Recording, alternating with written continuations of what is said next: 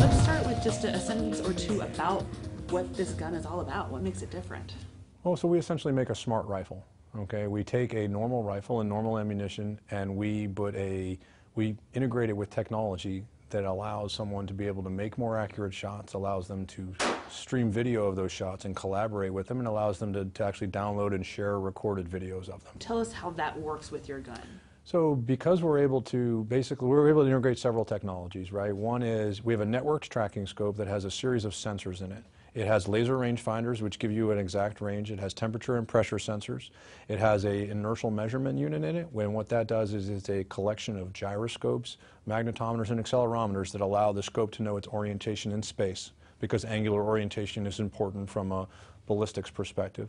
Um, and the scope actually also tracks the target. So you can place a a, a, lock on your target. It will persistently track that target as it moves, and it will give you the velocity of that target up to 10 miles an hour and allow you to make that shot on that target while it's moving. In addition to the network tracking scope, we also, also have the guided trigger. So the way a shooter shoots is he designates a target and it places a persistent red dot on the place where that shooter wants to shoot.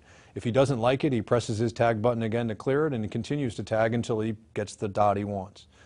Uh, once that dot is placed, he immediately sees a blue X. That blue X represents the immediate ballistic calculation. When he wants to arm the system, he squeezes and holds the trigger. That turns the X red. So when the system will only fire when the red X and the red dot are perfectly aligned. So if he ever wants to abandon the shot, he just releases the trigger. It goes back to blue X, red dot, won't fire. What precautions are you taking to ensure that these don't get into the wrong hands, especially as your community, community grows? Well, I mean, we have an application process for every gun, and every gun goes through the federal, state, and local level background checks that are supposed to happen. You know, state by state they differ, but every sale is made through a federally uh, licensed firearm dealer.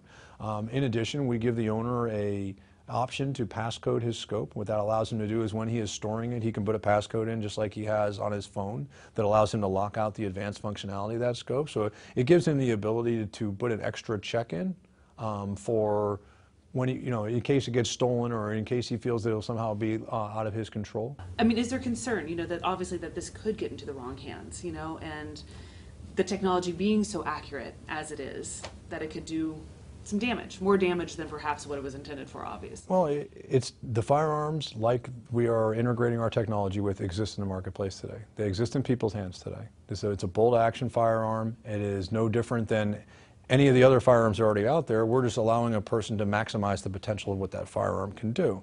Outside of your target audience, you know, the, the hunting community, what type of reception have you received?